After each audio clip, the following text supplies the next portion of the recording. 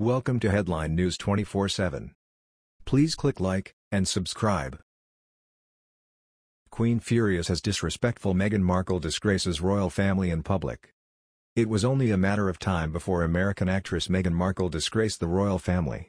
Now, Queen Elizabeth II is furious with her grandson's disrespectful new wife. According to The Sun, all eyes were on Meghan Markle on Tuesday as she attended the Queen's young leader's reception at Buckingham Palace but fans have slammed the former actress for ignoring a royal rule and being disrespectful to the Queen in the way she was sitting. Meghan, who wore a pink Prada dress for the occasion, was pictured sitting with her legs crossed and stretched to one side. The crossing of the legs is a sitting position that is rarely used by royals, and women in the presence of the Queen are never permitted to cross their legs, as it is seen as a sign of disrespect. In fact, Kate Middleton's uncrossed leg position even has its own nickname, the Duchess Slant and was previously used by Princess Diana. It involves sitting straight with an egg-width space between your back and the seat, and your chin parallel to the ground. You should slant your legs to one side and keep your ankles and knees together, with your heels always touching the ground. They may be crossed in a Cambridge cross if that is more comfortable for you.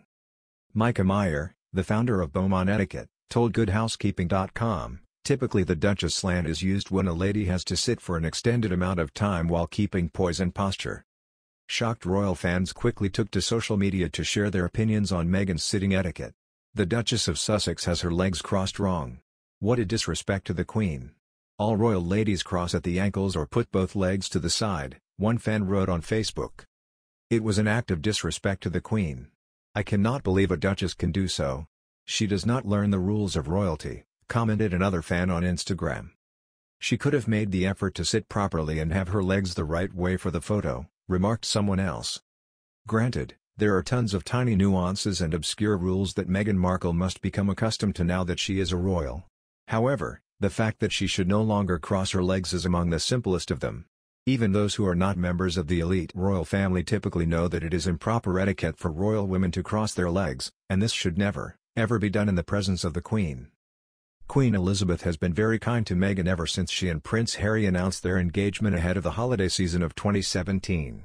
The Queen was also very patient in the lead-up to the royal wedding, even as Meghan's family drama threatened to derail the ceremony and humiliate the royal family on the world stage. Seeing as the Queen has been so warm and welcoming to the newly minted Duchess of Sussex, even though that must have been quite difficult, the least Meghan could do would be to show her some respect during public appearances.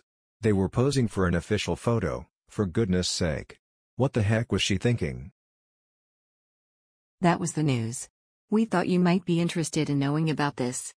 Please click like and subscribe. Thank you.